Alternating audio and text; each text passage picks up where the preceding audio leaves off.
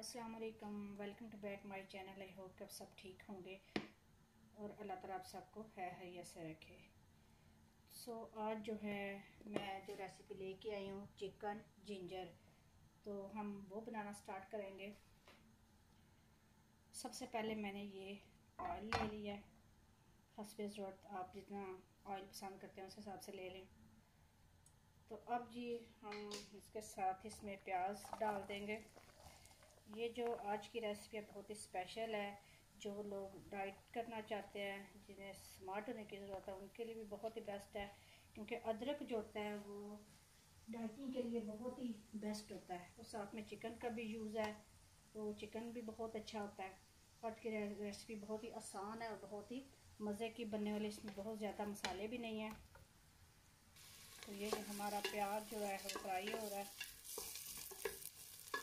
میں نے وہ سوچا کہ برتن تھوڑا سا چھوٹا ہے تو میں نے اب یہ ہنڈیا لے لیا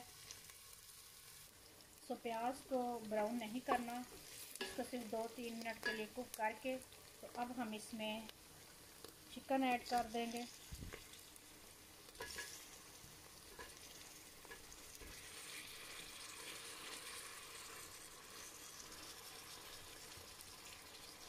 یہ بہت ہی آسان ریسیپی اور بہت ہی سمپل ہے۔ اور اس جو ہے ریسیپی ریسیپی جو ہے، اس کا مجھے سب سے بڑا یہ فائدہ ہے کہ اگر جسم میں کہیں بھی درد ہو، تو اس سے میں نے خود بھی آزمایا ہوا ہے کہ یہ سالن آپ کھائیں گے تو آپ کو بالکل جو ہے نا آرام آ جائے گا۔ یہ جی ہم نے چکن لے لیا ہے، جتنا آپ کو پسند ہے اس حساب سے آپ لے لیں۔ جتنا آپ کے پاس اویلیبل ہے، اس حساب سے لے لیں۔ تو یہ جی چکن کا کلر چینج ہو چکا ہے اس کو دو منٹ کوک کرنے کے بعد آپ نے اس میں ادرک ڈال دینا ہے یہ جو آپ نے ادرک چاپ کی ہے میں نے وہ میں ایڈ کروں گی آپ کو جس لحاظ سے پسند ہے آپ اسی لحاظ سے آپ نے اس میں ادرک بھی ایڈ کرنی ہے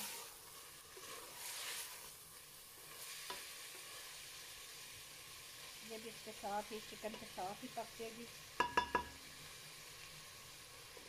اس کے جو ہے یہ اپنے سبز مرچ ایڈ کر دینی ہے۔ دو لیمن میں نے کاٹے ہوئے ان کو اینڈ پہ میں ایڈ کروں گی۔ اب اس کے ساتھ ہی اس میں میں نمک ایڈ کروں گی۔ حسب ضرورت نمک، تو یہ میں نے ون ٹی اسپون جو ہے نمک ایڈ کر لیا ہے۔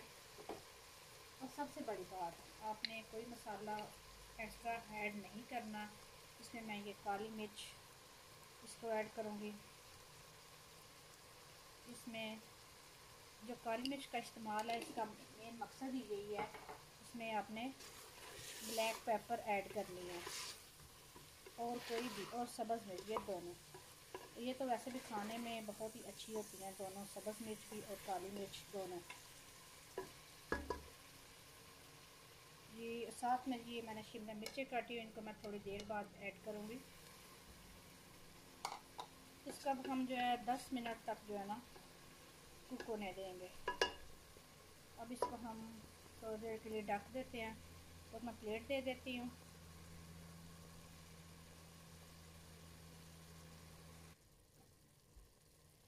ویسے میرے پاس جو ہے نا چکن وہ فریز تھا، تو اس میں بھی میں نے کوئی پانی نہیں ایڈ کیا۔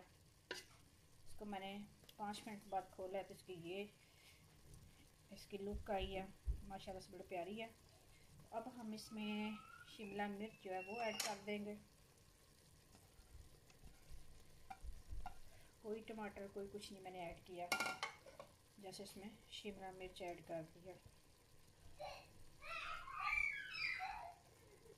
اب میں اس کو دم پہ چھوڑ دیتی ہوں، دس منٹ کے لیے۔ پلیٹ دے دینے لگی ہوں۔